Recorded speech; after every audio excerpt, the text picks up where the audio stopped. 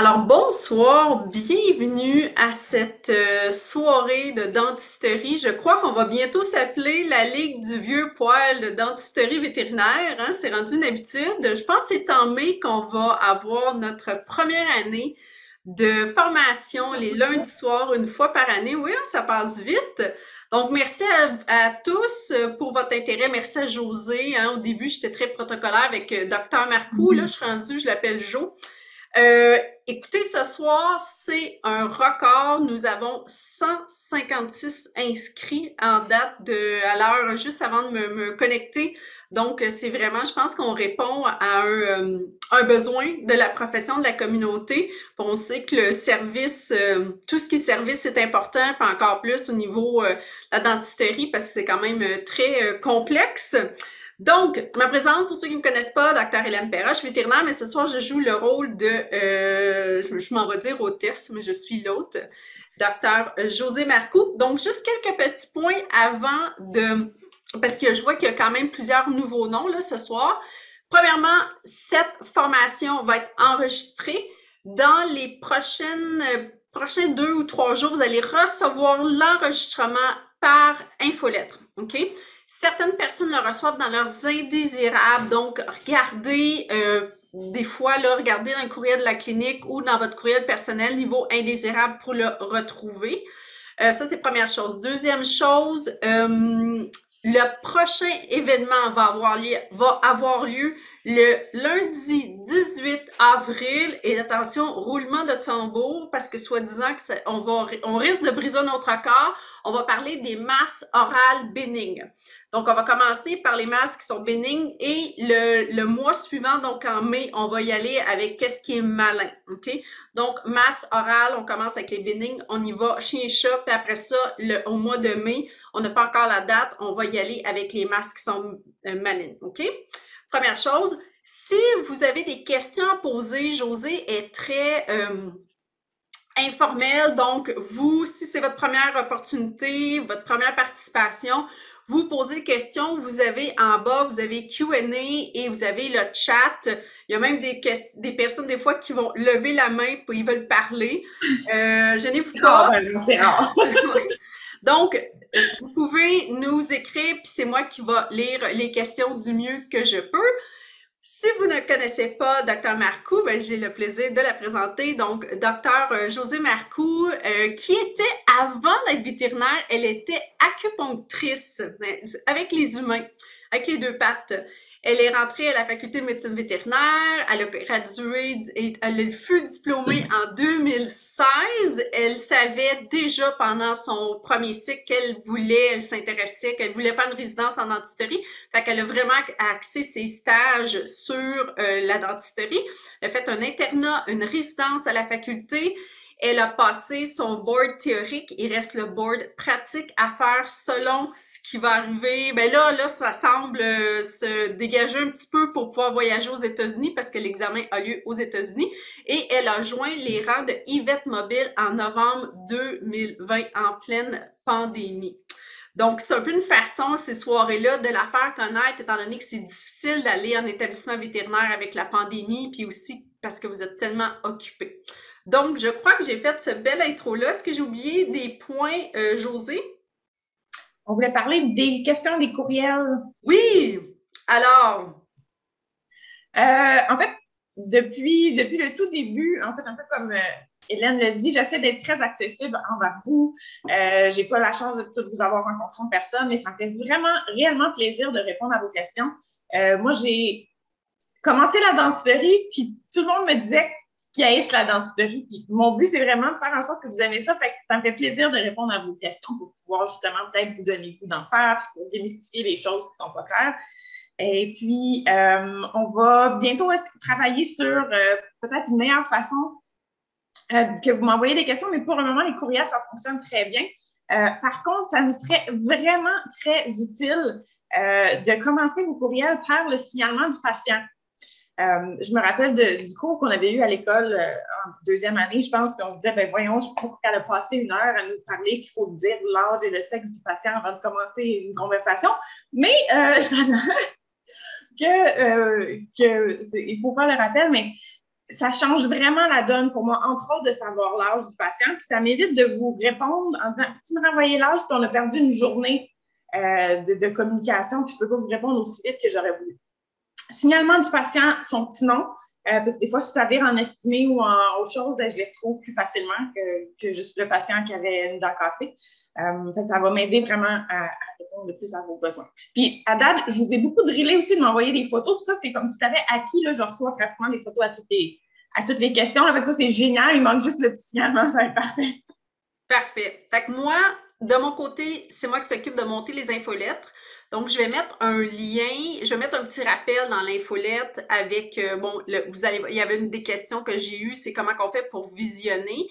En fait, ça va être dans les infolettes, vous allez avoir les liens de visionnement, là, c'est très clair. Puis, je vais mettre aussi un petit rappel si vous contactez euh, info at Yvette Mobile ou directement le courriel de José, mettez le signalement pour que ça soit, pour qu'on sauve euh, du temps d'un part et d'autre. C'est beau? Oui. Parfait. Et aussi, dernière question, je l'ai souvent celle-là. Est-ce que c'est reconnu par l'OMVQ euh, il y a environ un an? Je pense que c'est ça, un an. L'OMVQ changeait sa politique pour la reconnaissance des formations continues. On n'a plus besoin de soumettre à l'avance pour recevoir un papier. Donc, maintenant, ils font euh, confiance à la, au professionnalisme, à la bonne volonté des vétérinaires. Donc, si vous vous assistez à une formation donnée par euh, euh, tout ce qui est centre de référence ou par des spécialistes, ou on peut pas dire spécialistes parce que l'identisterie n'est pas reconnue au Québec, là, mais on, se comprend là, de, sous sous quelqu'un qui a fait une résidence dans un domaine, euh, puis que la personne ne parle pas de produits, c'est sûr, si vous faites une, formation sur un antiparasitaire, ça peut pas être reconnu, mais si vraiment une formation comme ici de dentisterie, vous prenez le nombre euh, d'heures et vous le mettez dans votre dossier. Vous n'avez pas besoin de euh, noter les pour pas les, les oublier, évidemment, mais vous n'avez pas besoin de recevoir un certificat pour le prouver à l'OMVQ. Ça fait un an que cette politique-là est en place. Donc, ça facilite la vie de tout le monde. Good! Alors, José, on the dance floor? Oui, tout à fait. Euh, est-ce que j'ai le droit de partager mon écran?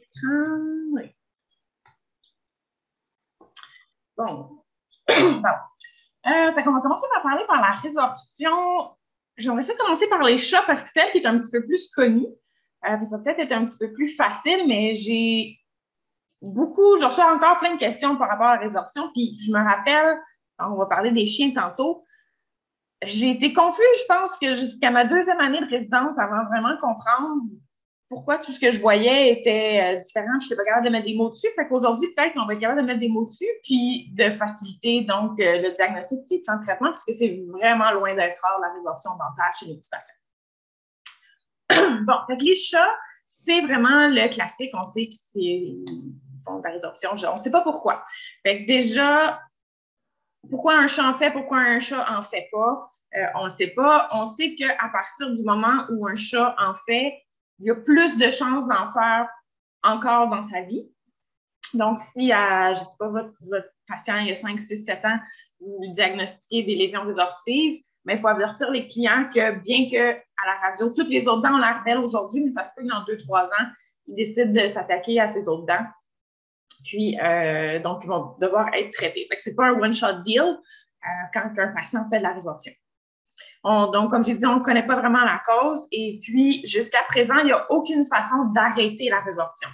C'est-à-dire qu'il y a eu dans le passé des traitements en fluor. Euh, on a essayé même pendant un bout de temps de faire des traitements de canal sur ces dents-là parce qu'on se demandait si c'était un signal de la pulpe ou whatever. Euh, il n'y a rien qui marche. Donc, extraire les dents, c'est la seule façon d'arrêter la résorption, vraiment. Donc, ça n'a pas d'importance si la lésion est petite sur une dent ou si elle est grosse, parce que même si elle est petite, la seule certitude que vous avez, c'est que ça va progresser.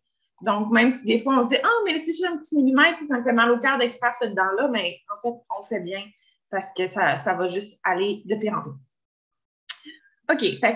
chez les chats, il y a deux façons de classifier la résorption.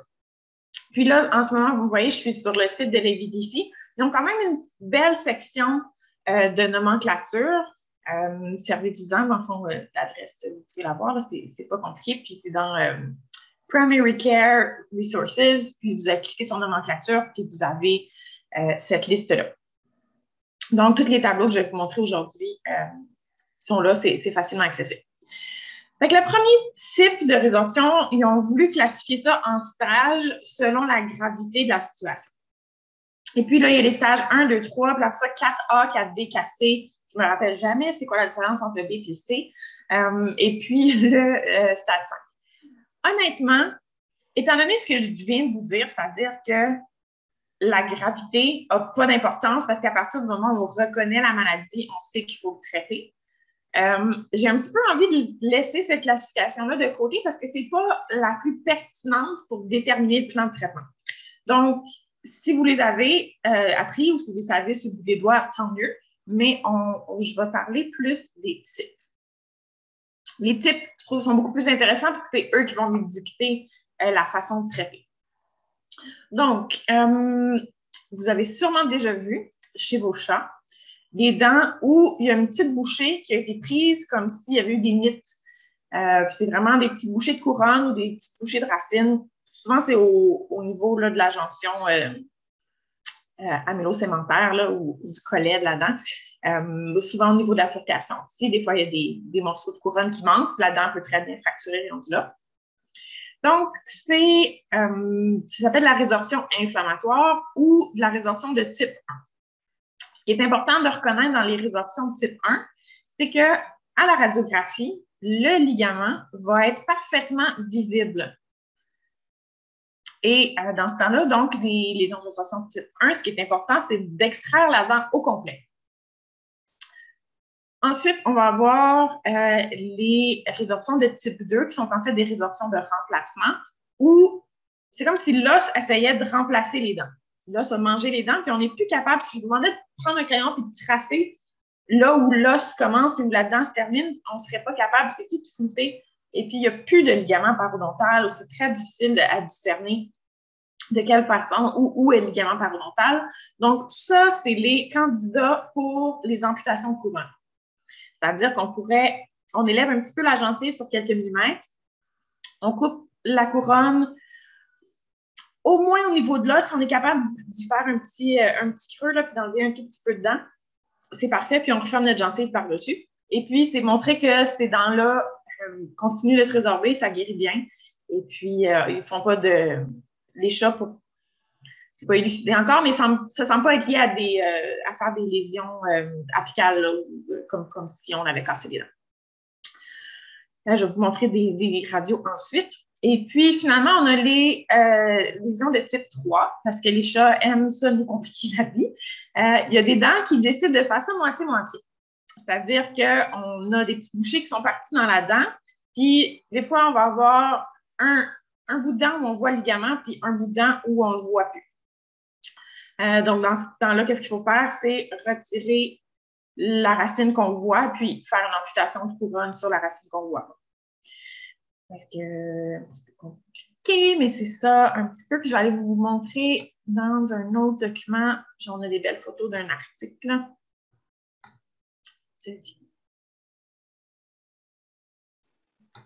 J'en profite pour dire que je devais avoir une surprise pour vous ce soir. Docteur euh, Jess Boileau devait venir euh, dire un petit coucou, mais euh, il, y a, eu trop d'urgence. Donc, il fait vous dire, bonsoir à tous.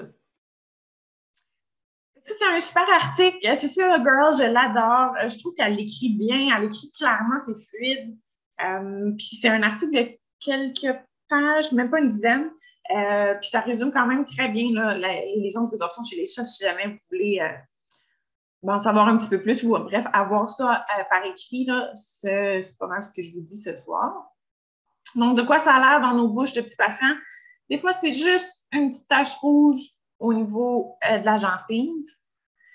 Et puis, la dent qui est la plus souvent affectée, c'est la 7 au mandibule, c'est-à-dire la, deuxième prémolaire, c'est vraiment la classique. Euh, et puis, quand on prend une radiographie de ces dents-là, qu'est-ce qu'on voit? De la gencive qui monte sur la dent? Bien, à la radio, souvent, on voit que, la dent est atteinte puis que l'opacité de, la couronne est complètement diminuée parce qu'en fait, il y a moins de matériel dentaire que ce qu'il y avait. Et puis, ici, on a un exemple euh, de TR5 là, ou des, dents qui ont été laissées à, elles-mêmes euh, résorbées pendant des années. Ça finit que la couronne tombe, puis la gencive euh, se refait par-dessus. Puis à la radio, ben ici, on a encore une fois un exemple de non, de dents où on ne pourrait pas vraiment tracer avec un crayon là, où est le ligament parodontal. Euh, je vous ai pour les questions sur les extractions. Mm-hmm. On les garde tantôt. Tu vas en parler. Comment tu veux qu'on. Je vais en parler de... incessamment. Parfait. Euh, bon, une des choses qui est intéressante à savoir par rapport à la résorption de remplacement, c'est-à-dire euh, sur une canine ici, par exemple, où c'est pas la super belle image, là, mais on peut vraiment ici, il n'y a, plus de ligament, là, tout ça, c'est complètement euh, résorbé. Mais peut-être qu'en bouche, la dent est parfaite et qu'il n'y a pas de lésion euh, au niveau de la gencive. En fait, ce qu'il faut savoir, c'est basé sur la médecine humaine, tout ce qui est résorption de remplacement, c'est pas douloureux pour le patient. C'est-à-dire que euh, ça peut durer des années, puis il n'y a aucun signe euh, ou symptôme associé à ça. Par contre, à partir du moment où la résorption atteint le, collet de la dent, la fameuse jonction euh, amélo-sémentaire, et puis que la lésion de résorption communique avec la cavité orale, c'est pour ça que quand ça monte là, au niveau du collet de la dent, puis ça finit par toucher la gencive, Là, il y a les bactéries qui se mêlent de ça, évidemment, parce que là, on est dans la bouche. Et puis là, la gencive se fâche, il y a de l'inflammation, il y a du tissu granulation. Et à partir de ce moment-là, c'est douloureux. Donc, ça peut arriver qu'il va y avoir un petit peu. Ah, je pourrais, j'ai vécu. Mon propre chat a des magnifiques débuts de lésions de résorption de ses canines. Euh, mais c'est vraiment tout juste à l'apex. Fait que c'est encore très loin euh, de la cavité orale. Et puis, étant donné que c'est mon chat, je sais que je vais faire les soins dentaires à chaque année. Euh, donc, ça fait des années que je les laisse aller et que j'attends de voir euh, si ça va progresser. Puis à partir du moment où je vois que ça, va être proche de la cavité buccale, ben là, je vais décider d'extraire ces canines. Mon souhait, c'est vraiment avant que ça atteigne la cavité buccale. Ça se peut qu'en l'espace d'un an, je l'échappe, mais je sais qu'il n'y aura pas eu, disons, de la douleur pendant des années parce qu'au minimum, il suffit à chaque année. Puis au final, ça fait, ça doit faire au moins cinq ans que ces lésions sont là, puis ne bougent pas vite. Fait que ça fait au moins cinq ans que ces canines sont sur euh, du borrowed time, là, fait que du temps emprunté, euh, mais ne progressent pas. Puis étant donné que je sais que je vais avoir un suivi sur ce patient-là, ben, ça ne pas de les laisser en place. Donc, résorption de remplacement, pas douloureux jusqu'à ce que ça atteigne euh, le collet et, ou la cavité buccale, puis là, c'est toujours douloureux. Donc, quand on voit, ben là, ici, là, cette radio euh, transparence ici m'inquiète beaucoup là, sur ce patient-là. C'est clair que j'extrairais la dent ou du moins que je ferais une amputation de couronne. Euh, mais quand, si c'est moins pire que ça, des fois, quand je sais que je vais avoir un bon suivi sur les patients, je les laisse aller. Puis, euh, donc, je donne l'information aux gens que que faut que ça soit suivi, là, mais qu'aujourd'hui, mettons, c'est pas nécessaire d'être euh, J'ai pas d'autres images. Donc, euh, comment faire les euh, fameuses amputations de couronne? Ici, on a un bon dessin. Le Dr. Corral a fait ma job à ma place. Euh, donc, souvent, j'aime bien faire un petit lambeau quand même parce que ça va être plus facile de refermer par-dessus. Et puis, il faut s'assurer, donc, un peu comme sur l'image, d'aller enlever l'os. J'aime ça enlever, pardon, enlever un petit peu de dents en dessous du niveau, justement, de l'os alvéolaire.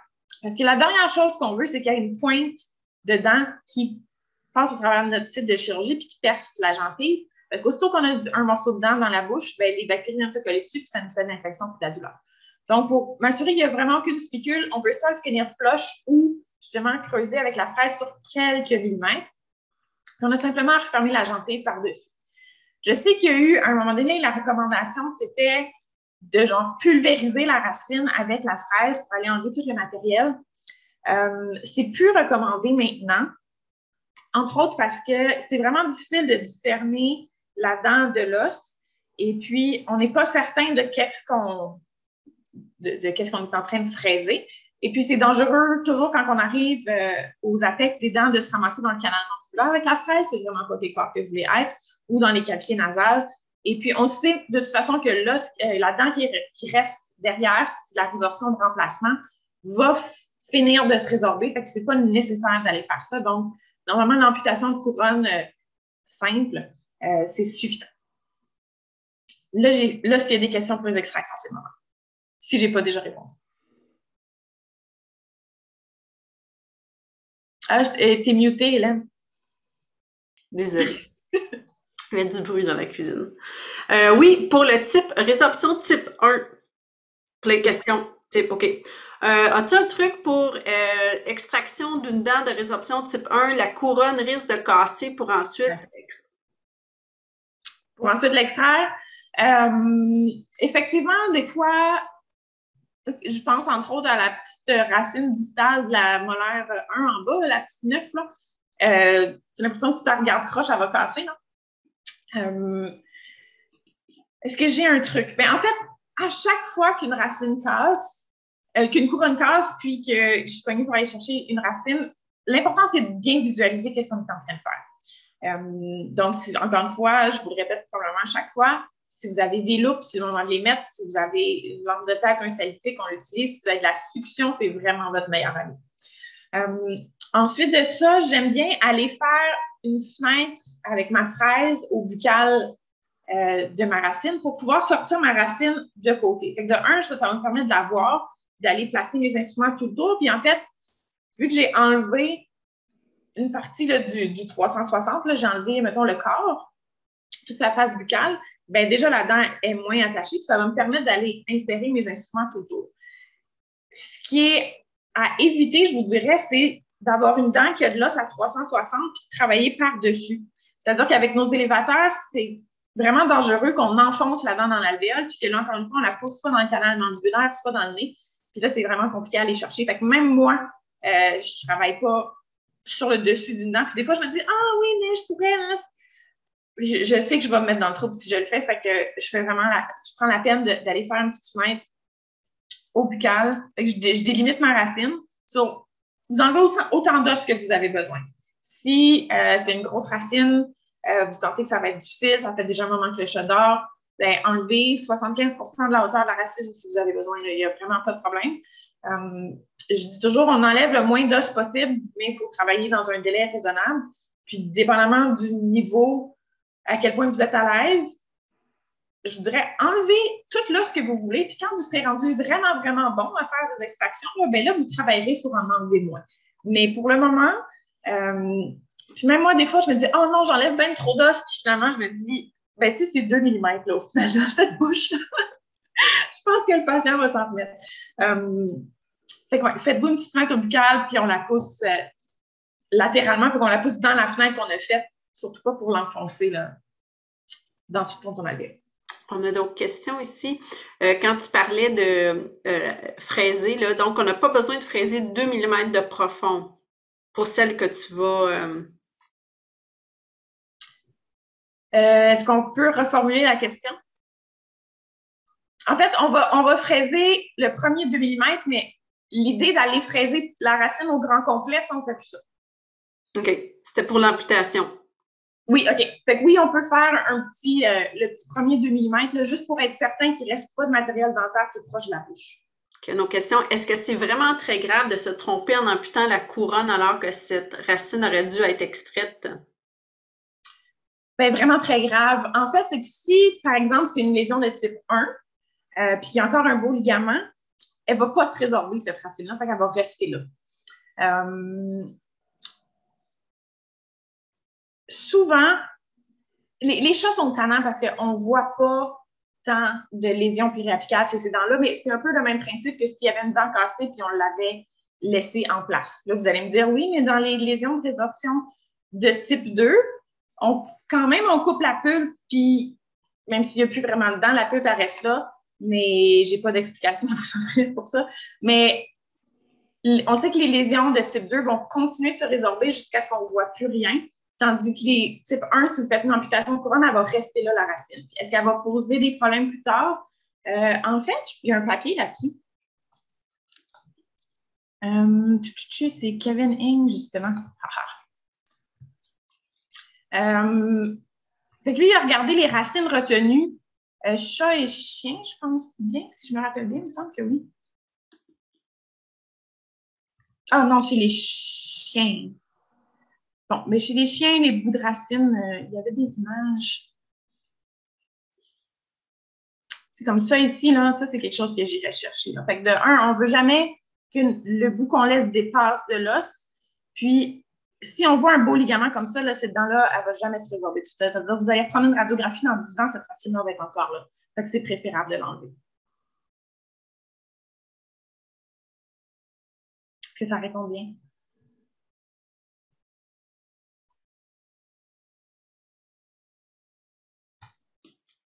Une autre question.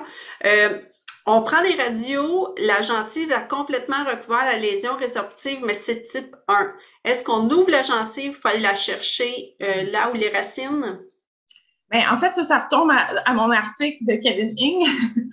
euh, il y a un gros débat là-dessus en médecine vétérinaire, ben, parmi les dentistes, à savoir est-ce qu'on va chercher les racines qui ont pas que nous, on a cassé en chirurgie, mais qui sont déjà là. Quand la gencive est tranquille, puis quand il n'y a pas de lésion dans l'os. Euh, la réponse, en fait, c'est que c'est pas clair. D'un dentiste à l'autre, ils vont pas nécessairement vous répondre la même chose. Donc, dans son article, euh, Kevin avait euh, identifié certains facteurs qui étaient liés à de l'inflammation. C'est-à-dire, justement, si le bout de racine dépasse la gencive, euh, ou des passes de l'os, il y avait plus de chances que cette dent-là s'infecte. Évidemment, si on voit une lésion périapicale, euh, j'ai-tu un exemple? Est-ce que c'est pas des super photos? Euh, bon, ici, on a probablement une évidence, ben, celle-là, elle, a une belle fausse lésion périapicale, quoi qu'il y ait encore une dent, là, mais ici, il y a de la perte osseuse tout autour. Ça, c'est sûr que j'irai la chercher. Si la gencive est bien tranquille, puis il se passe rien, puis vous n'avez aucune lésion euh, à la radiographie, je pense que je dirais c'est votre call. Euh, dans ce temps-là, je me demande souvent, est-ce que le patient, premièrement, ça fait-tu déjà 10 extractions, ça fait trois heures que le patient dort? Tu sais, souvent, je ne vais pas m'acharner sur un patient comme ça. Euh, par contre, si j'ai du temps, j'ai du budget, euh, j'ai toujours un petit doute, est-ce que ces racines-là font mal? Puis ça, la question, là, c'est on ne sait pas si ces racines-là font mal. Puis basé sur l'humaine, la réponse, c'est des fois oui, des fois non. Fait que je ne peux pas vous dire comme de façon vraiment assurée, ah oui, il faut aller enlever tous les bouts de racines euh, qu'on trouve fortuitement parce que toutes celles-ci font mal. C'est pas vrai. Puis je peux pas non plus vous dire, ah, mais on peut dormir sur deux oreilles parce qu'il reste là parce que c'est faux. Puis parce que des fois, on voit des ostéomyélites euh, avec des, bouts de racines comme ça, euh, puis des lésions préapicales, puis plein de choses. Donc, euh, c'est une réponse un peu vague, mais je vous dirais c'est votre cas. Si, le patient le client est d'accord, on a du budget pour aller les chercher. la plupart du temps, j'aime mieux, plutôt que d'avoir un doute, j'aime mieux aller les chercher. mais si jamais c'est pas possible ou si ça fait longtemps que le, patient est endormi, etc. si on les laisse là, ben, je pense que c'est pas un scandale. Si, évidemment, il y a, la gencive doit être parfaitement tranquille, il n'y a aucune rougeur, il n'y a rien, que vous n'avez aucun signe à la radio, comme quoi qu'il pourrait avoir une lésion qui manque de l'os autour de cette racine-là. Si vous voyez quoi que ce soit qui vous met un doute, on va la chercher. La personne reformule sa question. Est-ce que c'est possible d'avoir extraire une racine et amputer l'autre? Oui, euh, comme sur le dessin du type 3, là, euh, oui, les chats aiment ça faire ça. Euh, pas clair, des fois de temps en temps. Là, fait, ouais. On voit pas, on, voit les, on voit les références. Ouais.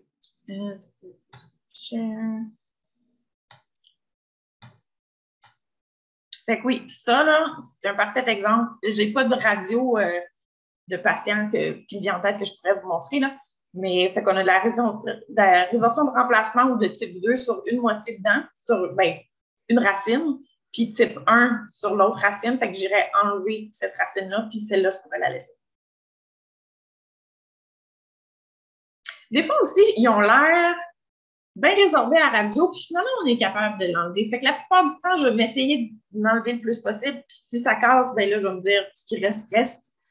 Mais euh, des fois, on, arrive... Euh, à négocier un petit peu.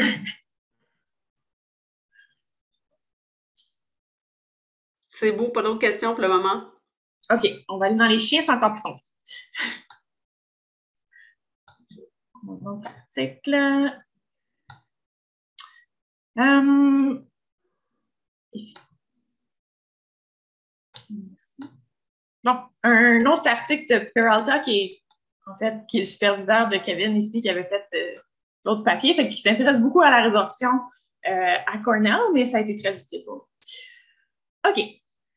Chez les chiens, euh, il y a ce papier-là qui est sorti il y a plusieurs années déjà et dans le fond, ils ont basé sur la médecine humaine, ils ont défini sept types de résorption dentaire chez les chiens.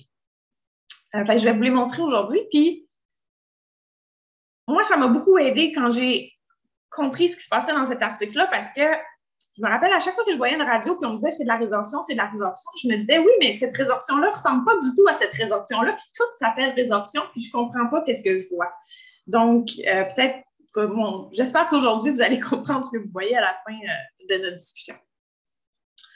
Donc, euh, il y en a quatre principales, il, y en, a trois qui sont plutôt rares, fait que même si, si on parle pas des. On n'a pas le temps de parler des trois autres aujourd'hui, ce n'est pas la peine. Donc, ah oui, puis je vais aussi faire des traductions libres euh, parce qu'ils ont donné des noms, puis ce nom-là n'existe pas en français, fait que on va appeler ça la résorption de surface externe, mais officiellement, je ne sais pas si c'est le bon ordre pour les mots si c'est exactement comme ça qu'on dit en français. Donc, parfois, sur des dents de chien, on va voir comme une petite bouchée qui a été prise dans la racine, mais le ligament parodontal a comme suivi la petite bouchée. Des fois, c'est des dents qui ressemblent à des cœurs de pomme. Euh, encore une fois, j'en ai pas à vous montrer en ce moment euh, de mes propres patients, mais ça ici, c'est vraiment un bon exemple. Le, ligament parodontal, on le voit, il est visible, puis il est visible même dans la lésion. Euh, donc, c'est la résorption de surface externe. Et puis, encore une fois, basé sur l'humaine, puis même basé sur l'histo, euh, c'est pas des lésions qui font mal. Euh, quand les lésions sont légères, ils peuvent même être réversibles et euh, ça n'atteint pas la pulpe. Donc, a priori, ce pas des dents qui ont besoin de traitement.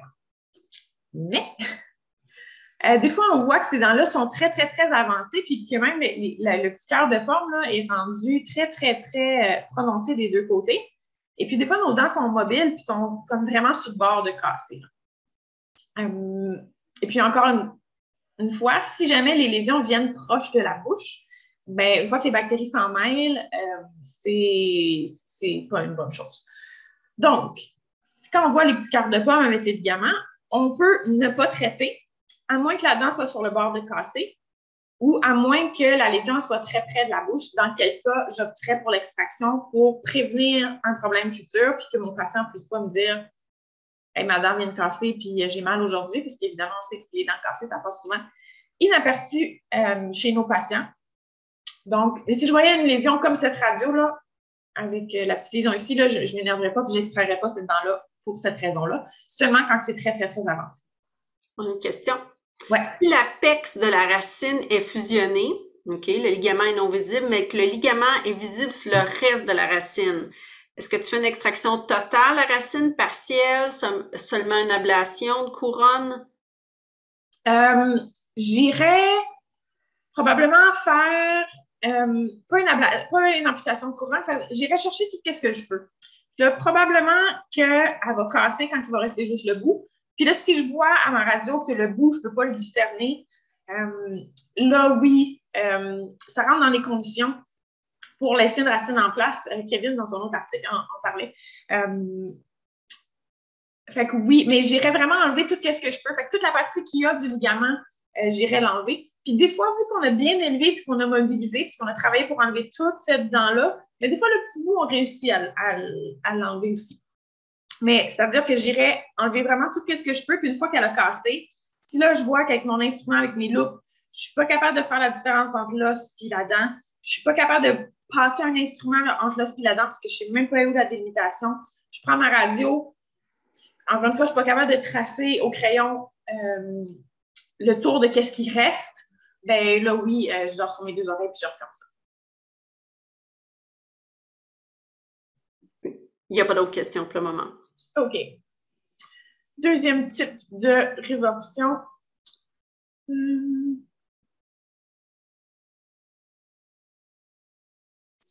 Oui, mais Bref, c'est la résorption de remplacement. Externe. Bon, fait que ça, c'est, en fait, c'est exactement la même chose qu'on voit chez les chats, le type 2. C'est-à-dire que sur ma, euh, ma prémolaire 8 ici, c'est impossible pour moi de prendre un crayon puis de vous dire euh, il est où le ligament parodontal ici, puis de faire le tour de, la dent. Puis même sur ma, ma grosse molaire ici, ben, ça commence. C'est moins marqué que sur l'autre, mais mon ligament, je ne peux pas vraiment dire où il est. Et puis, euh, puis ben, c'est ça. Par contre, je vois encore un petit peu dedans, mais bref. même chose que chez le chat. A priori, ça fait pas mal jusqu'à ce que la lésion euh, se ramasse dans la bouche. Fait probablement ma molaire 8, là, on pourrait. Celle-là, elle serait vraiment un candidat pour une amputation de couronne.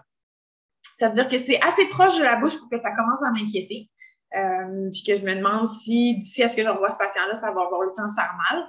Mais, tu sais, je veux dire, s'il fallait que je glisse un instrument dans l'espace du ligament parodontal, là, je, je te dire, c'est pas parce que je suis pas spécialiste, mais j'ai fait ma résidence, là, mais, tu sais, je ne serais pas plus capable que vous, là. Fait que même chose, j'ai enlevé euh, ce que je vois avec peut-être un petit premier, un millimètre ou deux avec ma fraise, on referme ça. Euh, la 9, je ne sais pas si j'irai en extraction aujourd'hui, euh, mais ça serait définitivement à surveiller. Puis si pour une raison quelconque, je décidais d'aller en extraction, mais probablement qu'à ce stade-là, je ferais aussi une amputation de couronne sur une grosse dent. Par contre, ici, vous voyez mon curseur, hein, je pense? Mais ici, j'ai peut-être un bout de ligament encore et j'essaierai de me rendre au moins jusqu'à là avec ma fraise pour. Et à partir d'ici, on voit que c'est très, très fou. Là. Fait que j'irai m'assurer d'enlever au moins cette partie-là. Je vais couper ça ici. Je vais fermer ça. Fait que, euh, lésion de résorption de remplacement externe. Fait que remplacement, c'est quand l'os remplace la dent. A priori, c'est pas douloureux jusqu'à ce que ça rejoigne la bouche. Et puis là, ça devient un problème. Et puis, c'est des bons candidats pour l'amputation courante. Question là-dessus, avant qu'on passe à un autre type. Pas de questions pour le moment. OK. Ensuite, on a la résorption inflammatoire externe. Euh, fait que ça, en fait, ça ressemble beaucoup à nos lésions de type 1 chez chat. Puis, euh, chez chien, quand ils sont présentes, en fait, les caractéristiques, c'est surtout qu'il y a un bout de dent qui est parti, mais il y a un bout d'os qui, a fait partie de la même bouchée, là, euh, de la petite minute quand elle est passée.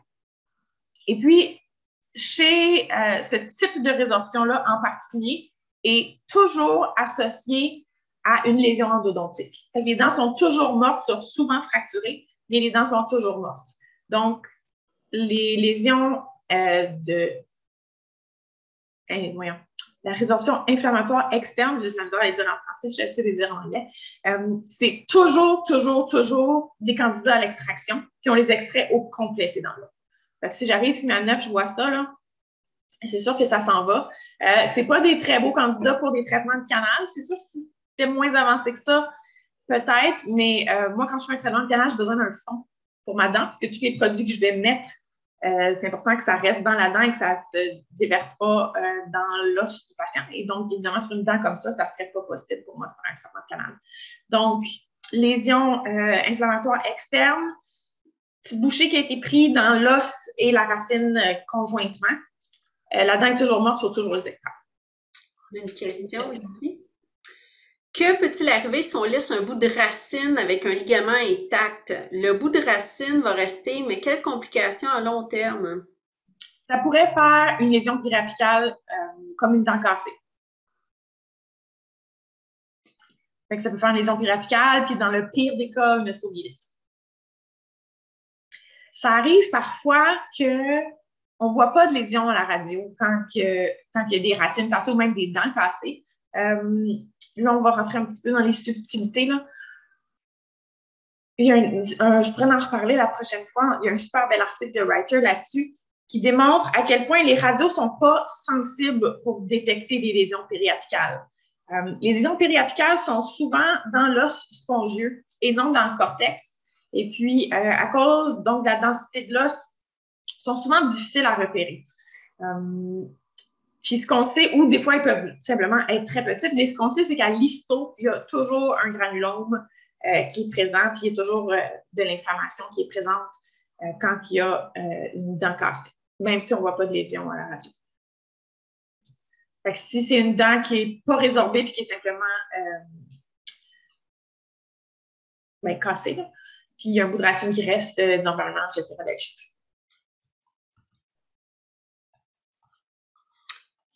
Pour l'instant, il n'y a pas d'autres questions. Fait que ça, c'est pas mal nos trois types de résorptions qui sont les plus fréquentes chez le chien. Il reste la résorption. Moi, je peux te poser une question? Oui, tu peux. je suis pas, je suis la moins compétente de la gang, mais j'ai besoin, et moi, pas parler pendant une heure, c'est difficile. T'as-tu comme des profils types, les races, t'as-tu des nouveautés là-dessus, tu sais, avec, euh, avec tous euh, les, nouveaux, euh, les nouveaux croisements? T'as-tu des tendances que tu vois? Oui, les chats, ben, tous les chats de race ont des mauvaises poches. que ce soit résorption ou maladie parodontale, là, euh, ils en font plus que les autres. Puis, euh, je pense que j'avais déjà lu un papier comme quoi qu'en bas de 7 ans, les chats ne euh, font pas de lésions résorptives. Ben, j'ai enlevé des dents chez un patient de 2 ans, l'autre fois, parce qu'il y avait des lésions de résorption. Fait que l'âge, mettons, c'était moins fréquent chez les chats de, en bas âge, mais c'est possible. chez les chiens, je dirais les patients qui font le plus de résorption, soit de remplacement ou de surface, avec les petits cœurs de pomme, c'est les patients qui grugent. Je ne peux pas donner d'âge ou de race, mais les chiens qu'on voit, on voit de l'abrasion sur leur dents, on sait que c'est des patients qui aiment euh, soit la balle ou les, bois, peu importe, là. Ils ont vraiment plus de, lésions de résorption que les autres. Par contre, ils n'ont pas de maladie parodontale. Fait que, y a-tu des signaux qui se font au niveau du ligament ou quoi que ce soit, je ne sais pas. Mais euh, c'est vraiment triste parce que de temps en temps, je vais voir un, chien de petite race je fais comme Ah, il n'y a pas de lésion parodontale. Puis parce qu'on voit qu'il gruge et tout. Puis je, prends les radios, puis je fais comme Ah, tout est dans son résorbé. fait que les patients qui grugent résorbent plus leurs dents. J'ai pas d'explication, c'est ce que je vois. Puis, as-tu des recommandations au niveau des jouets, des bébelles et de, de type de, de, de Toujours. Fait que les jouets, euh, ben pour éviter les fractures dentaires, tous les jouets qui peuvent être pliés avec les mains, ou dans lesquels je peux enfoncer mon ongle sont adéquats. Si je ne peux pas faire ça, par exemple un os ou un bois de serre ou un glaçon, euh, c'est trop dur, ça peut casser les dents. Maintenant, tout ce qui est euh, pour l'usure, tout ce qui est balle de tennis, ça, c'est le gros classique, c'est comme du papier sablé, ça use les dents énormément. Euh. J'ai-tu le droit de dire un nom de marque? Ça a-tu annulé tout mon. je suis une, grosse, une grande fan personnellement des jouets Kong. Euh, c'est du caoutchouc assez résistant. J'ai eu un pitbull pendant des années. Elle n'a jamais passé au travers de son Kong noir en genre 10 ans. Euh, puis, c'est des jouets qui sont super résistants, qui sont, vu qu'ils sont légèrement mous, que je peux y enfoncer mon nom, mais ça casse pas les dents. C'est pas abrasif. En tout cas, je suis une grosse fan de ces jouets-là. Mais il y en existe plein d'autres marques, là, mais bref, pour la recommandation, en général, on peut les plier puis mettre notre ongle dedans. Sinon, c'est trop dur. Parfait. OK, fait que notre prochain type de euh, lésion résorptive chez le chien, c'est la résorption de surface euh, radiculaire cervicale. je ne sais pas comment traduire ça. En plus, il y a comme euh, quatre mots. Mais ça, je dis souvent, c'est un chien qui se prend pour un chat. Ça ressemble vraiment, encore une fois, aux lésions de type 1, c'est vraiment juste au collet de la dent. Puis, euh, cliniquement, on va vraiment remarquer le granulome, la gencive, le gros bourrelet de gencive qui rentre dans le trou qu'elle a créé dans la dent. Encore une fois, ces, lésions-là, ils vont progresser, euh, peu importe à quel stade ils sont, même si c'est léger et ça n'a pas atteint la pulpe encore. Sur cette radio-là, ça a certainement atteint la pulpe, mais des fois, on en voit, c'est pas atteint la pulpe encore et il n'y a rien qu'on peut faire pour les empêcher, fait que c'est extraction ça, ça donne que ce patient-là a aussi clairement euh, de la résorption de surface, de, de remplacement externe, c'est-à-dire qu'on ne voit plus son ligament parodontal. Euh, c'est pas nécessairement qu'un entraîne l'autre, là, c'est comme un peu un addon sur patient-là. Fait que probablement que lui, si je voulais extraire sa dent, je serais capable d'aller enlever ma racine distale, puis la racine mésiale, je la laisserais telle qu'elle, je refermerais ma, ma dent par-dessus. Fait que c'est comme un, un type 3 chez un chat. Souvent, les chiens de petites races vont faire ça. J'ai vu ça souvent sur des petites choses, des petits chiens blancs. Mais c'est juste un. N'importe quel chien peut l'avoir, c'est plus une observation. les quatre qu'on vient de voir, c'est vraiment les plus fréquents. les deux premiers, ça fait pas mal. Il faut juste s'assurer que c'est pas sur le bord de causer un problème. Euh, les, deux, derniers, ça fait mal, puis on les enlève tout le temps. C'est pas mal ça. Là, on rentre dans les cas un petit peu plus euh, avancés. Fait la résorption de surface interne, euh, puis l'autre, c'est la résorption inflammatoire interne. Bref, ça se passe à l'intérieur du canal. Euh, puis à part si vous apprêtez à faire un traitement de canal sur cette dent-là, c'est pas super pertinent. Puis c'est vraiment super rare. Là. Je pense que je vois ça une fois par année. Là. À la limite, si vous retenez les quatre premiers, je vais être bien contente. Là. Euh, puis aussi, le problème, qu'est-ce qui est étonnant avec ces, beaux dessins-là, c'est que sur la radio, ça a l'air d'être vis-à-vis de la cavité pulpaire, mais il n'y a rien qui vous dit que ce n'est pas en surface là-dedans. Euh, fait que, de les classifier, ça serait plus facile aussi qu'à la radio. Fait qu'à la limite, vous pourriez comme, ignorer ça, ou une fois de temps en temps sortir l'article. Euh, évidemment, dans ce cas-ci, c'est associé à une dent cassée, on se doute qu'il y a de l'inflammation dans cette dent-là et qu'elle doit être enlevée. Euh, si, si j'ai rien d'autre qui, m'annonce que, c'est dans les problématiques, probablement que je la laisserai. associé à une dent cassée, on enlève. Puis si vous voyez juste. Euh, c'est vraiment fortuit, puis je pense qu'il y a un autre papier qui parle des prévalences, c'était comme 1,3% des cas de résorption, puis déjà les résorptions, c'est juste 10% des patients, là, on est comme Et puis le septième type, c'est la résorption unclassifiable, parce que c'est comme un gros mélange de tout euh, sur la même dent. dans ce sens-là, on peut juste, je pense qu'on pourrait extraire ces dents-là sans essayer de nommer qu'est-ce qui se passe avec ça. Question? Pas pour l'instant. C'est clair, la résorption? Il faudrait que je trouve des exemples.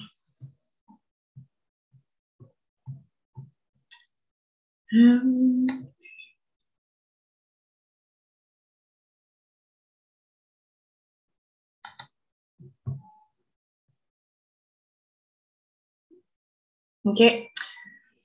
dans la, si vous ne lisez pas l'article, je ne sais même pas ce que c'est écrit autour, là, mais dans l'image A, est-ce que quelqu'un peut me dire c'est quel type de résorption? On va faire des quiz, on va faire travailler si personne ne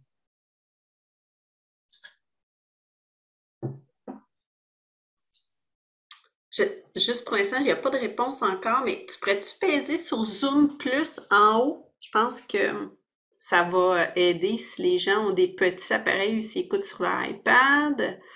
Là, on a quelqu'un qui dit externe de surface. Oui, super, Jo, on le voit bien. Oh, oh attendez, on est ici. De remplacement externe. Et puis ici, on a Résorption de remplacement externe de surface. Oh, quel est le signalement? J'aime bien celle-là.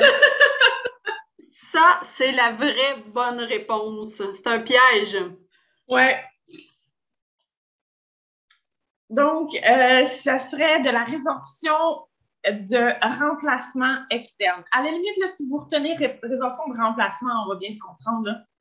Donc, euh, la résorption de surface, c'est quand c'est des petits cœurs de pomme que le ligament il est encore visible. Puis la résorption de remplacement, c'est vraiment quand l'os a complètement remplacé la dent. Euh, donc, dans ce cas-ci, c'est la résorption de remplacement. Est-ce que vous extrairiez cette dent-là? Est-ce que, est que cette dent-là doit être traitée?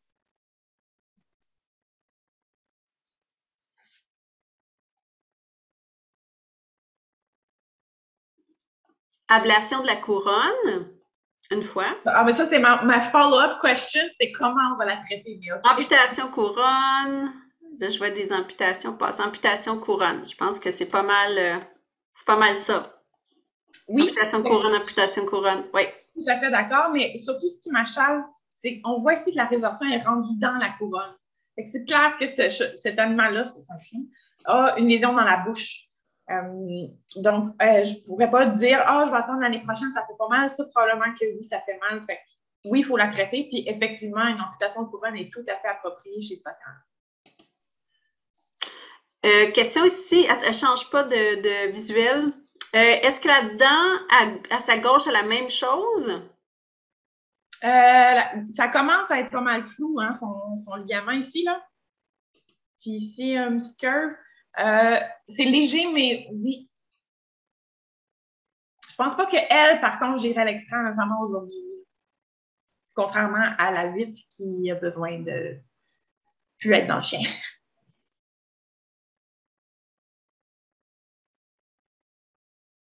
C'est beau, pour l'instant, on n'a pas d'autres questions ni commentaires. Euh... Ça, c'est pas clair.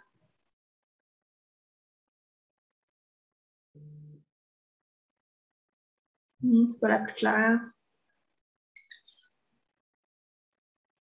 C'est beau, ça. Mais. Euh... Bon, on va y aller avec celle-là. Quel type de résorption?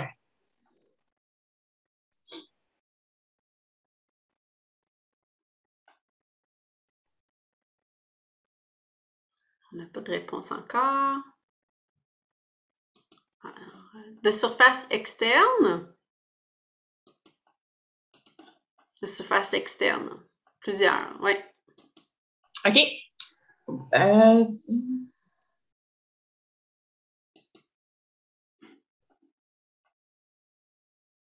Bon, ici, il parle, euh, de, il parle de résorption externe, pour moi, c'est plus de remplacement externe parce qu'on voit même les trabécules osseux.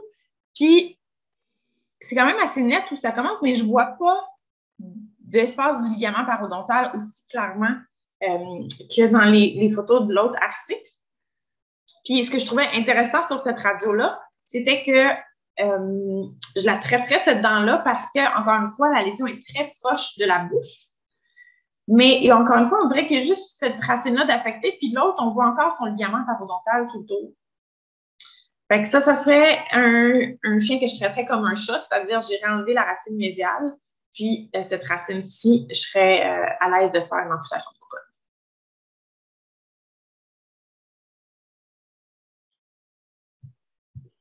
Pour l'instant, pas de commentaires, pas de questions.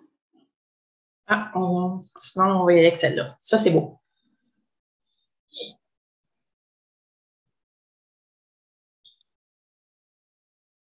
Ta question? Quel type de résorption?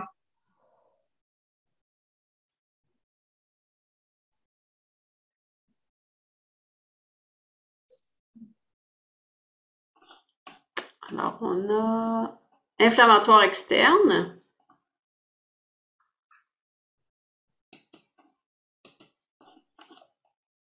Inflammatoire externe. Oui. C'est parfait. Il y a des petits morceaux ici. On voit là, que la racine a été toute mangée, puis clairement l'os aussi autour. Est-ce qu'on traite cette dent-là?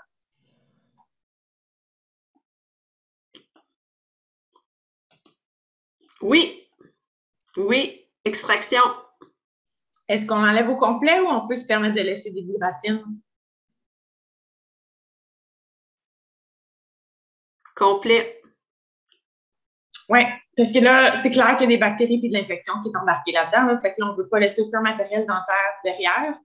Euh, on se rappelle que du matériel dentaire, c'est les seules parties du corps qui sont comme non vascularisées. À partir du moment où c'est mort, c'est pratiquement un corps étranger. Donc, euh, le biofilm s'installe dessus, le corps n'est pas capable de le gérer. Fait que si je laisse un petit bout de racine, là, ça va continuer à entretenir cette lésion-là. Fait qu'on s'assure d'avoir tout enlevé. On dirait, euh, on a un commentaire ici, on dirait quasiment un abcès. Ah, ça se pourrait très bien qu'il y ait euh, des signes de, du pu, puis de la, gencive soit rouge, qu'il y ait de la récession gingivale, il pourrait y avoir toutes ces choses-là. Mais en fait, c'est fréquent, oui, que, ait une dent qui est fistulée, fait que oui, il y a un abcès, aide la résorption externe à la radio. Ah, j'en ai une belle, non, mais je ne suis pas sur le bon ordi, par contre. J'en ai une belle euh, que de la résorption externe. Euh, comment dire, une question ici, comment dire si ce n'est pas du PD4?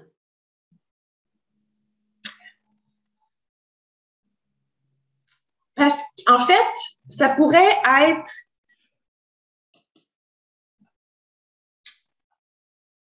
je vois la. Il y a une combinaison des deux. Moi, cette dent-là, pour moi, c'est une lésion paro-endo. C'est-à-dire, je sais, probablement que c'est la maladie parodontale qui a commencé. Puis, il y a eu tellement de pertes osseuses que probablement que ça a infecté le canal. Parce qu'on se rappelle tantôt quand, quand j'ai dit les lésions de résorption inflammatoire externe, c'est toujours associé à une dent qui est morte. Puis vu que sa couronne n'est pas cassée, il y a une autre façon que cette dent-là a dû mourir. C'est probablement parce que euh, à un moment donné, il y a eu tellement de pertes osseuses que soit les bactéries ont rentré dans un canal latéral ou carrément qu'il n'y avait plus d'os jusqu'à l'apex. Et puis, la dent est maintenant morte. Puis, non seulement on a de la résorption au niveau de l'os, qui aurait pu être, oui, juste la maladie parodontale, mais on a aussi la résorption des bouchées qui ont été pris dans la dent. Puis ça, ça n'a pas le choix d'être la, la, résorption interne, euh, externe, inflammatoire. Ah, c'est dur. fait que la dent est morte. Comment elle est morte? C'est probablement une lésion paro-endo. Fait que la maladie parodontale a causé la mort de la dent, mais là, on a de la résorption. Puis dans tous les cas, il faut que c'est dans la pâte docteur euh, Pascal Grégoire, une fervente, on la salue, fervente, habitude de nos soirées, elle dit cette dent-là devait être mobile. Oui, probablement, oui. Puis ça se peut même que vous auriez pu l'accueillir avec vos doigts. Pas un gros travail d'élévateur à faire ici. Pour l'instant, on n'a pas d'autres questions ou commentaires. Est-ce que je suis capable de trouver vite comme ça d'autres photos? Je sais pas si on a du travail, j'ai pas mes radios. Euh, je vais aller voir dans mes présentations, j'ai peut-être ça. J'en profite pour dire que tu vas être au congrès de la MVQ. Oui. Moi, je suis comme l'annonceuse ou à boxe ou à... Oui, puis je vais faire une, une conférence en personne, ça va être ma première conférence en personne. On va voir comment ça va. c'est juste en personne, c'est pas euh, rediffusé? Oui, c'est rediffusé. Mais dans le sens que je vais être dans une salle, il va y avoir des gens que je vais voir. Ce sera pas comme aujourd'hui, mettons. Puis, le sujet de ta conférence, c'est sur les pathologies chez les chiots, les malocclusions. J'ai menti. C'est pas juste les chiots, il va y avoir des chatons. OK. Toutes les pathologies, ben, les pathologies les plus fréquentes qu'on voit chez les jeunes patients. OK je ne vais pas en dire plus, là, je peux vendre mon punch, mais les jeunes patients. il va y avoir des malclusions, mais il y a d'autres choses aussi. Euh, bon, ça, c'est pas beau. Puis congrès a lieu le premier, euh, première semaine d'avril, si ma mémoire est bonne. Mais moi, je présente le 2, le samedi.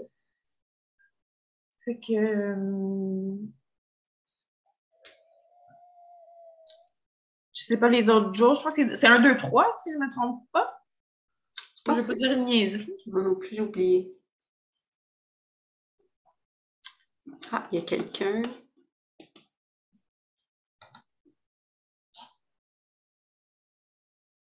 Est-ce que tu es capable de faire du multitasking? Tu cherches puis je pose une question? Oui.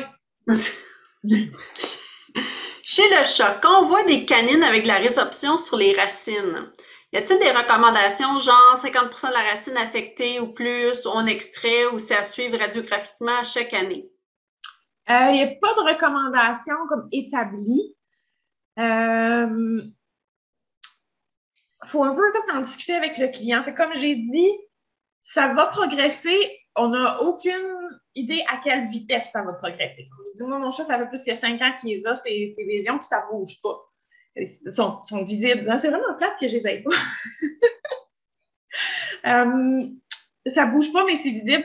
Fait faut juste voir. Est-ce que, tu sais, ça dépend encore. C'est-tu un, patient que je sais que je ne reverrai jamais? Tu sais, il y en a, là, tu ils nous amènent leur chat il y a 10-12 ans et jamais eu de dentisterie, puis on se doute que c'est la seule dentisterie qu'il va avoir de sa vie, là. Tu sais, ça, je, serais plus tentée de les enlever parce que je sais qu'un jour, ça va faire un problème et que je n'aurai pas la chance de traiter ce patient-là. Fait que c'est un peu à voir avec le client. Euh, ça va être un problème dans le futur, mais ça ne l'est pas maintenant. Est-ce est-ce qu'on l'adresse ou est-ce qu'on attend? Mais il n'y a pas de. Il a pas de guidelines. 50% ça ne me dérange pas trop encore. 75% de la racine, je commence à trouver que c'est proche de la bouche. Fait que 50, ça ne dérange pas trop. 75, ça me fatigue. Ah, on est sûrement là-dedans. Ah, sais, ça, ça n'est une belle. Je vais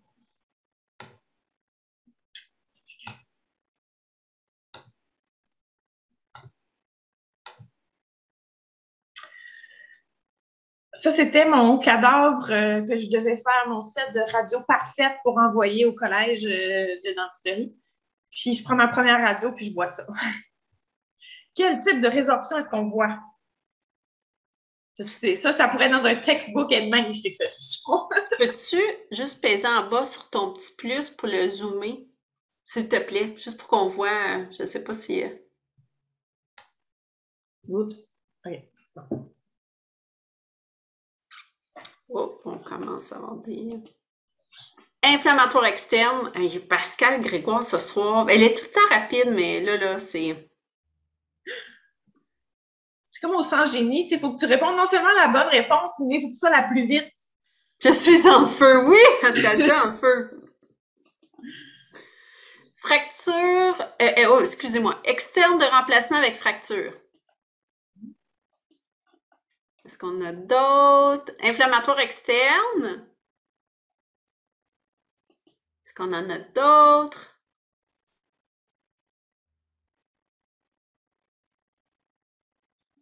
On sent un petit risque ce soir, là. Mais bref, c'est effectivement une lésion euh, inflammatoire externe qui a été causée par la fracture. Donc, je vous ai dit, on se rappelle, inflammatoire externe, c'est toujours causée par une maladie endodontique, fait que la dent est toujours morte. Euh, fait qu'on voit ici la raison, c'est une fracture de la racine. Puis même cliniquement, cette dent-là n'était même pas mobile. Fait que, encore une fois, petit moral de cette histoire, prenez toujours des radios de toute la bouche de vos patients parce qu'on voit des choses comme ça. Euh, on voit ici que la cavité pulpaire est très large dans cette dent-là comparée aux autres dents. Ça fait probablement des années que cette dent-là est cassée et puis que notre petit patient souffre en silence. Donc, il faut aller enlever ça, puis je ne laisserai pas ce bout de racine-là, là, jamais de la vie, parce qu'on sait que c'est assez évident qu'il y a de l'inflammation là-dedans, possiblement de l'infection. J'ai enlevé mon bout de racine au complet. Question ici. Oui. Est-ce que la fracture est secondaire? La résorption, c'est le contraire? C'est la fracture qui a causé de l'inflammation qui, elle, a causé la résorption. C'est la fracture la cause. On n'a pas d'autres questions, de commentaires pour le. Euh, que dire de la deuxième incisive? Oui, elle commence à avoir souffert de la résorption de son ami. Euh, probablement que je reprendrai la radio une fois que celle-là est enlevée, mais ouais, ça fait pitié probablement qu'elle est nécessaire d'être enlevée aussi. J'imagine que ça doit être dans tes, tes, arguments un peu avec les, les adoptants, ça, l'impact que ça peut avoir sur les dents voisines. Oui, ben, en fait, c'est un peu tout le temps la résorption inflammatoire. Ça affecte, c'est plus que ça grossit, plus que ça affecte les dents voisines. L'ostéomyélite aussi, ça peut faire ça. C'est-à-dire qu'il y a une dent qui a causé le problème, et là, notre os est rendu tellement infecté, tellement appauvri que là, on enlève tout le cadran complet. Là. Fait qu'on ne laisse pas traîner ça, puis ça fait juste des conséquences euh, plates.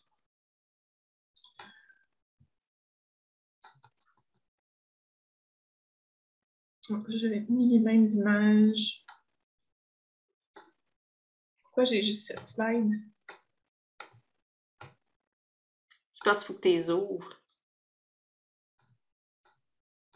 Oui, mais il devrait en avoir d'autres. C'est une conférence qui n'était pas juste. Bon, c'était peut-être mon brouillon. C'était un petit peu bordel dans mon. dans mes. Euh,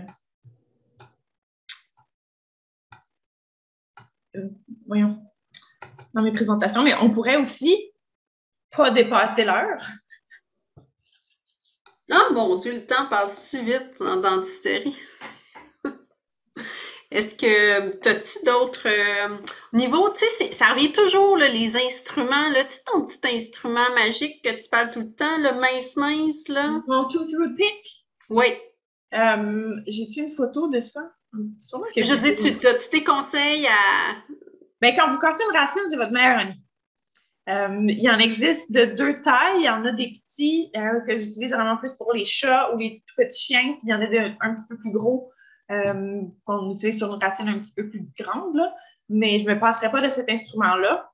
je ne sais pas si les gens ont en tête de quoi ça a si j'essaie de le décrire avec des mots, ça risque de faire pitié.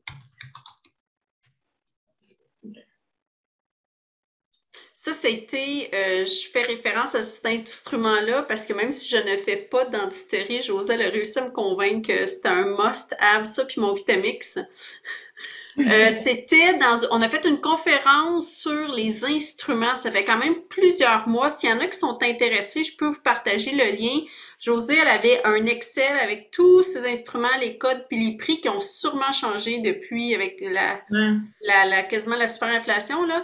Mais quand même, ça vous donne les codes puis elle avait souligné les coups de cœur. Fait que si vous êtes intéressé, vous pouvez me le dire puis je vais vous le mettre, euh, vous renvoyer le lien sur les tantôt, on disait qu'est-ce qu'on fait si on a cassé la racine, là, on enlève de l'os sur, euh, sur tout le côté buccal, mais probablement qu'ensuite, ce que je vais sortir de, de, mon kit, ça va être le tooth pick. Euh, c'est quoi? L'élévateur à bout de racine? Euh, ça, ça, ressemble à un de chat qui est vraiment tout petit. Il y en a des droits, j'aime beaucoup ceux qui travaillent à 90 degrés. Puis celui que j'ai, moi, en fait, il est sur un manche, puis les deux côtés sont, de chaque côté de mon instrument, c'est-à-dire qu'on peut en avoir, euh, peuvent être séparés, mais le mien, euh, il y a comme deux, euh, les deux côtés qui travaillent, puis c'est un et l'inverse de l'autre. c'est probablement un de mes instruments préférés. Là, on a une question ici. Je voulais ton beau petit porte-aiguille. Il ne se fait plus. Aurais-tu d'autres suggestions? Oui, en fait, les portes-aiguilles, ah, c'est quoi leur nom? Ça a un nom de fille. C'est ceux qui sont longs et étroits. Enfin, plusieurs compagnies vont en faire. Euh, euh, j'ai juste Haley dans la tête, là. Euh, c'est pas ça. Je vais le retrouver dans ma liste. Mais, dans le fond, demander à une compagnie s'ils ont des porte-aiguilles qui ont ce nom-là. Puis, dans tous les cas, ils ne sont peut-être pas pareils aux miens mais ils vont être longs et étroits. Puis euh, je trouve ça super le fun pour travailler dans les petites bouches de chat. Là. Euh, j'ai rendu Haley, mais c'est pas ça. Je vais le retrouver, puis au pire, je vous mettrai dans, dans les follettes ce nom-là.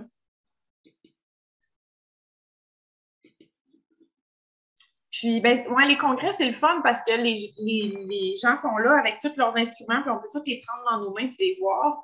Euh, en catalogue, moi, je commande rarement un instrument que je n'ai pas vu.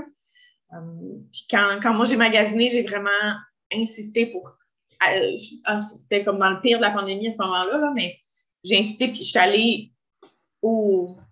C'est moi qui s'est déplacé au représentant, et il m'a sorti tous ses instruments, il m'a fait un setup, la table de conférence au complet, puis j'ai choisi mon kit dans ce qu'il y avait parce qu'il faut que je les tienne dans mes mains. Puis j'avais fait la même chose avec Serona. Eux sont à Vancouver, mais je voulais essayer leur Davier, puis je leur ai demandé, j'ai dit, c'est impossible que j'achète un Davier que j'ai pas essayé. J'ai eu des Daviers, là, je suis jamais satisfaite. C'est des Daviers d'humains, hein, qui sont mal adaptés. Fait que déjà, euh, j'ai les Daviers en horreur. Puis, elle, m'en a envoyé 10 différents euh, par la poste. Puis, j'ai choisi, puis j'ai renvoyé les 10. Puis, j'ai choisi celui que je voulais, puis j'en ai commandé de ceux-là. Mais, parlez à vos représentants, ils vont essayer de vous accommoder. Puis, tu as, fait mettre de la couleur hein, pour rapidement oui. Il y a plein. Ben, vous avez toujours un choix de poignée, ou ben, la plupart du temps, sur vos instruments. Euh, puis tous les, euh, les, instruments qui se font euh, de style crayon, là, vous avez le choix de mettre des poignées. ben moi, j'ai choisi celle en caoutchouc, mais il y a toutes sortes d'autres poignées. Là. Il peut y avoir un petit creux si vous aimez ça, placer votre majeur dans le petit creux, mais c'est les six lacs, entre autres, là, qui sont intéressants parce qu'ils ont comme 10 choix de poignées. Mais euh, c'est ça, moi, pour l'instrument que je me sers le plus souvent, qui est ma sonde, j'avais fait le, petit mou en caoutchouc. Puis euh, mon bistouri aussi. J'ai fait mettre toutes mes bistouris en orange flash parce qu'en plus, quand ça vient de petit caoutchouc, vous pouvez choisir les couleurs que vous voulez. encore là, il y a comme une douzaine de couleurs. Puis comme ça, mon bistouri, il est orange flash, fait qu'on sait toujours est où dans le kit, puis il n'y a pas de chance qu'on se mette la main dessus euh, si c'est pas ça qu'on cherche. Fait que, quand, vous faites faire un kit d'instruments, ça vaut la peine de parler aux représentants et de, regarder vos options, puis ça vous va faire vraiment un beau kit, le fun à travailler. Si jamais je vais en chirurgie chez vous, là, venez voir dans mes kits, ça me fait plaisir euh, de vous montrer ce que j'ai. Euh, que vous venez voir par-dessus mon épaule, je vais tout vous montrer mes affaires. Est-ce qu'il y a d'autres questions? Pour l'instant. Pas d'autres commentaires, pas d'autres questions. Je vous rappelle, on ne l'a pas fait ce soir, mais je vous rappelle, euh, José, juste avant, est-ce que tu as couvert la matière que tu voulais couvrir? Est-ce que tu veux rappeler comment, parce que là, tu as de plus en plus de gens, de demandes, de requêtes, comment euh, fonctionner avec toi? Puis tout le monde faut au début, puis là, on Ah oui! Euh, donc, si vous avez des questions, vous voulez me parler d'un patient, ça me fait plaisir de vous répondre. N'hésitez jamais. si vous voulez vraiment une consultation, la façon de faire, c'est de remplir une requête. Euh, qui sont disponibles sur le site de Yvette Mobile ou si vous m'écrivez, je vais me faire plaisir de vous en envoyer une. On essaye. Hmm? Peux-tu enlever le share? Ah oui, excuse. Tu vas mettre le tien. non, non, non. J'étais. Ah ben oui, on peut. Euh, vas-y, parle, je vais mettre le. Euh, on essaie de vous mettre un, c'est un formulaire PDF que vous pouvez remplir directement à l'écran. fait vous m'écrivez brièvement, donc signalement du patient, etc. Euh, la raison de la consultation. J'ai une couple de questions d'identité de gens qu'est-ce qu'ils mangent, qu'est-ce qu'ils croquent. Puis euh, les vendredis, je me déplace à votre clinique. Vous, le patient est reçu par vous euh, le matin, souvent c'est de type drop-off. Moi, je passe à un moment donné dans la journée. J'examine le patient, je prends des photos, je fais un rapport, je vous explique ce que j'ai trouvé puis les plans de traitement possibles. Et puis, euh, vous, remettez tout ça au client. Mon rapport est fait pour être lu directement par le client. Vous n'avez pas de compte à écrire. Euh, et puis, si le client décide d'aller de l'avant, ben, vous pouvez simplement faire une deuxième requête de chirurgie cette fois-ci. Et puis, je me déplace chez vous avec mes deux techniciennes. on essaie d'être très, très clé en main. Euh, on apporte la très grande majorité de notre matériel. Même chose, le, patient est déposé chez vous le matin à jeun on, fait la chirurgie qui a besoin d'être faite pendant la journée ou la procédure. Et puis, euh, une fois que le patient est réveillé, je vous le redonne. Encore une fois, je fais un congé très détaillé, très long, euh, que vous pouvez remettre directement au patient. Et puis, puis, la chirurgie est faite. Puis, si les patients ont besoin d'être évalués, même chose, on se, redéplace un vendredi. Puis, la première évaluation est comprise dans la chirurgie. Fait on, vient voir nos, patients, comment ça a été. Puis, euh, encore une fois, tout au long du processus, vous avez des questions, on s'écrit, on se parle au téléphone, euh, on facilite euh, le tout pour vous. Moi, je l'ai eu de commentaires, les gens, qu'est-ce qu'ils apprécient beaucoup, c'est Josée, elle est très généreuse de ses conseils, puis elle donne beaucoup, beaucoup de trucs pratico-pratiques. C'est vraiment, euh, pour l'avoir vécu quand j'étais dans un regroupement, de voir quelqu'un en dentisterie venir puis donner des trucs, l'ergonomie, tout ça, là, ça ça vous épargne votre dos, euh, votre, votre, votre, vos yeux aussi. Donc, euh, Josée, elle est remplie de, c'est comme un, une scout, toujours prête à donner des conseils. Attends, là, on a une question ici. Euh, est-ce que vous avez les radios dentaires portatives? Non, on ne les a pas. Donc, ça, c'est probablement un des freins. C'est-à-dire que je me sers de votre appareil radio dentaire, c'est nécessaire que vous ayez des radiodentaires dans votre clinique pour que je vienne faire les chirurgies chez vous. Parfait. Fait que là, ce que vous voyez à l'écran, c'est le site web de Yvette Mobile. Vous avez un onglet avec formulaire et liens utiles. Vous voyez ici, vous avez requête de dentisterie. En passant, bien, vous, avez, vous avez aussi euh, une brochure dentisterie vétérinaire si l'adoptant est curieux de savoir euh, qui est euh, docteur Marco. Et ben, c'est très facile, vous tapez Yvette Mobile, vous allez le trouver. Puis si vous allez sur l'accueil, vous allez voir que directement en haut, bon, là, ça a bien l'air que mon... Vous voyez ici en haut, tout en haut, vous cliquez puis vous trouvez la requête de dentisterie immédiatement. Fait que c'est, on a mis ça facile. On essaye d'éviter la paperasse, mais il y en a un petit peu quand même. Bon, on a une question. Euh, protocole contrôle de la douleur lors du retour à la maison. Gapapintin, c'est quoi tes. Euh... Oui, bien ça, habituellement, j'en discute avec vous avant de partir, dépendamment de ce qui a été fait sur le patient. Euh, il y a un papier super intéressant qui a été fait à la fac même sur la douleur chez des patients post-extraction, puis combien avaient besoin de rescue medication, etc. Donc, en général, ma première ligne, c'est toujours des AINS. S'il n'y a pas de contre-indication chez le patient, ça va être vraiment la première chose que je mets. Et puis, à partir d'environ 5-6 extractions, basées un petit peu sur le papier euh, d'un éco-résident, là, je vais rajouter un deuxième antidouleur. Fait que soit si j'ai envie des grosses canines ou des, dents plus, importantes, ou s'il y a vraiment plusieurs extractions, euh, je vais rajouter un deuxième. le deuxième, ça dépend. Chat, on aime beaucoup la buprenorphine. Euh, chien, la bupré, c'est super cher. Euh, fait que gabapentin, oui, c'est pas mal mon, mon go-to. Euh, pas mal plus que le tramadol. On sait que le tramadol, pendant des études, il n'est pas en grosse faveur ces temps-ci. fait habituellement, c'est pas mal les deux, là.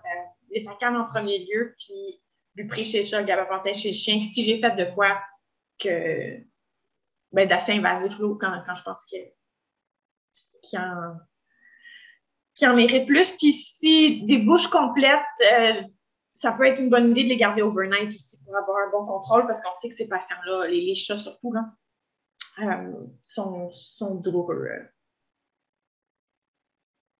Votre de chien et Bupré SR chat. Oui, Bupré SR, c'est super le fun, ça. Parfait. Bon, mais je pense qu'il n'y a pas d'autres commentaires. Non, je vois rien. Euh, ah, combien de temps? Avec les INF? En général, on dit que les douleurs post-op, c'est mal les 3 à 4 jours le pire. Euh, fait que je vais donner habituellement 5 jours. Puis, euh, encore une fois, j'ai fait une bouche complète, c'est automatique. tu sais, eux autres, je vais aller jusqu'à une semaine. Mais on n'hésite pas, évidemment, d'appeler les gens et de voir si, le patient ne va pas bien. Évidemment, on prolonge, mais d'habituellement, je vais avec 5 jours. Oui, parce que chez les humains, hein, l'extraction des dents, c'est pas immédiatement, c'est pas, je pense que c'est ça, trois jours après que c'est le pic de quand je me suis fait enlever mes quatre dents de sagesse d'un coup. Mais semble ça tombait le trois jours, quatre jours après, c'était le 25 décembre, je recevais toute la famille. Euh, mais avant, après ça, c'est le, le, la journée, le, le 24 heures, 48 heures, c'était vraiment pas si pire. Mais bon, je suis résistante à la douleur. Bon, ben, je pense qu'on a fait le tour. Ben, merci encore. Merci à vous tous. Vraiment, je suis à chaque fois impressionnée par euh, votre euh, dévouement envers la formation continue à la dentisterie un lundi soir. Merci, José, pour ton, ta générosité. Je vais vous envoyer d'ici, probablement, j'essaie de viser le mercredi au P, le jeudi pour l'envoi de l'infolette. Si vous êtes dans ce groupe, si vous êtes inscrit, inscrite, moi, je prends l'adresse courriel et je vous en, je vous mets dans le système et je vous fais parvenir. Fait que c'est sûr qu'il faut regarder un petit peu les indésirables, mais actuellement, ça devrait se rendre. Je vous rappelle, le prochain webinaire en dentisterie aura lieu le lundi 18 avril. Ça, c'est le lundi de Pâques. Donc, le 18 avril, 19h, 19h comme d'habitude. Et le sujet sera les masses orales bénignes. Euh, et je vous rappelle que ben, c'est enregistré, puis vous allez l'avoir, puis je vais mettre les liens euh, selon euh, les, les, ceux qui m'ont demandé les liens pour les instruments, je vais vous le faire parvenir. C'est bon? Oui. Ben, José, tout le monde, merci beaucoup, puis bonne fin de soirée. J'arrête l'enregistrement.